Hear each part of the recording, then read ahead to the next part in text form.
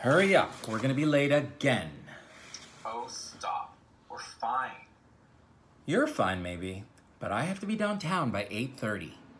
Let's go. You'll be on time. Jesus. Shit, I forgot my phone. Seriously? We don't have time for this. Why do you have to be such a little bitch all the time?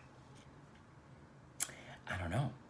Why do you have to make me late every day? You left the kitchen light on again, Mike. How many times do I have to tell you? You're wasting energy. Really? That's what you're worried about? Wasting energy? Sally, I'm gonna die a young man and it's gonna be your fault. If we could only be so lucky.